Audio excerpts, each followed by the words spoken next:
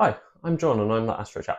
It's been pretty bad weather recently, so I haven't actually been able to get the uh, the new camera and filter wheel out on this telescope and try and capture some more data. Um, so I'm hoping that as we head into summer, that will start to improve and we should maybe see a little bit less cloud.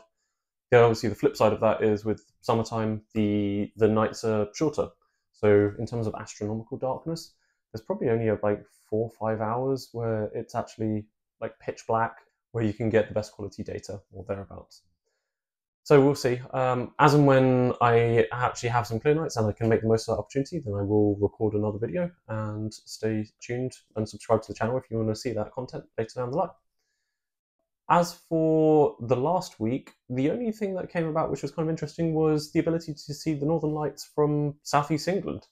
So there was a big solar storm, and over the course of two nights where we had semi clear weather, you were actually able to make out the not only the hue and the glow, but you could actually make out the streaks um, of the northern lights uh, in the upper atmosphere.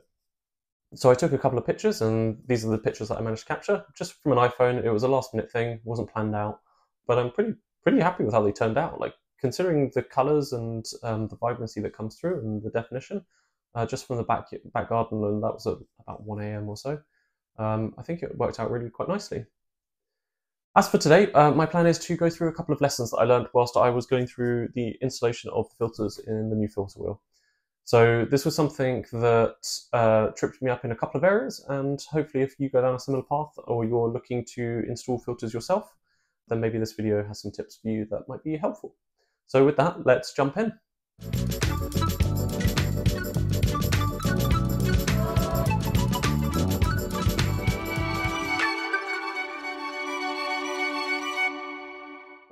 So there are three tips that I'm going to run through with you today. And tip number one is to make sure that you are prepared. Preparation is everything when it comes to installing filters.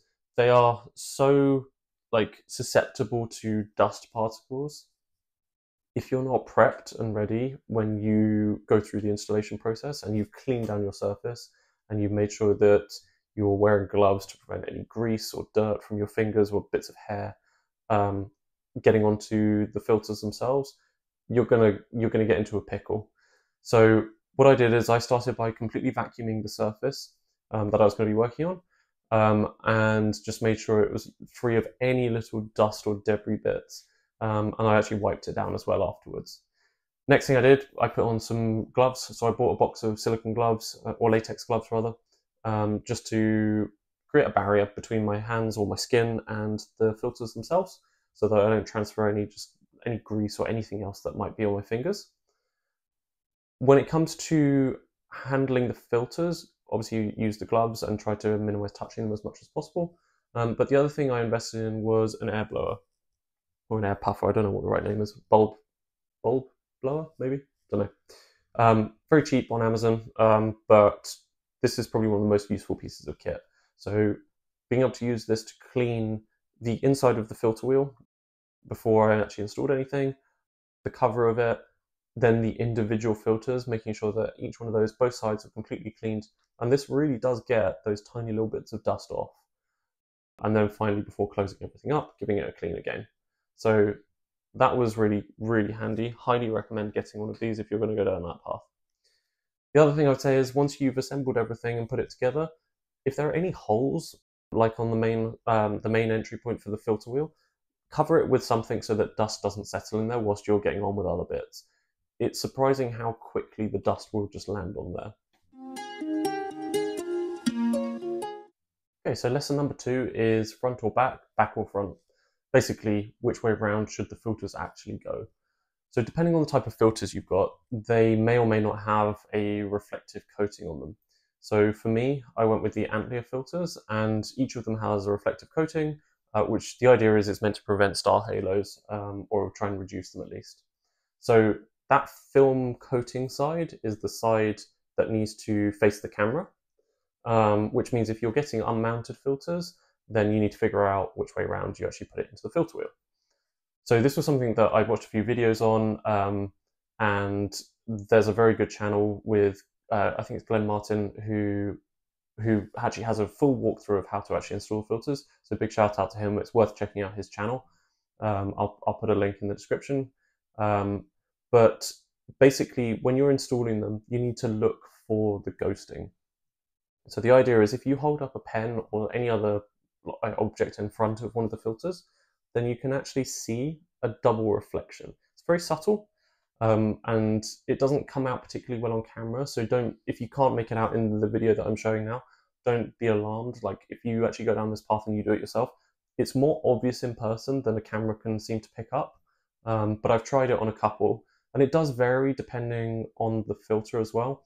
So I think the first one I did with the luminance filter, which really did not pick up the the ghosting at all. It's it was actually very hard to see with the naked eye as well. That was the most challenging one. All the other filters, not a problem. Um, so the blue filter, for example, far more prominent, much more obvious that there was that double um, the double reflection coming through. And that's the side that needs to go towards the camera. And if you flip it over, then you get a perfect crisp reflection, which is the side that should be facing the telescope. So take your time on it. Obviously, there's no rush with it. But what I would say is don't be too concerned by it. Um, it's a lot easier to do in practice than it might seem on the face of it. Finally, tip number three, and this is to do with letting light in, really. One of the things I got caught out on, and it's a really rookie error, is leaving some open gaps where light could get in. So I didn't notice it the very first time I put the telescope out when I was doing some test runs with it and some shots just to see if the camera and the filters were working properly. It was only when I brought it back in and I started taking dark frames that it became very prominent and there was a very distinctive shape that was coming through because of the positioning of the different holes that I'd left. So I'd gone to the trouble of actually making sure that I had the, um, I guess like a gasket or like a light leak kind of ring um, between the camera and between the filter wheel. Um, and that prevented any light leak from there. And that was a perfect seal, so that was all good. I knew that was working. The bit that I'd overlooked was where I connected the filter wheel to the telescope. Um, that's obviously screwed in, so there's no light leaks coming from there. However, there are also a few uh, screw holes where you could mount directly onto it um, and screw in. And those holes, I should, in hindsight, have put the screws back in um, uh, or cover them up in some other way.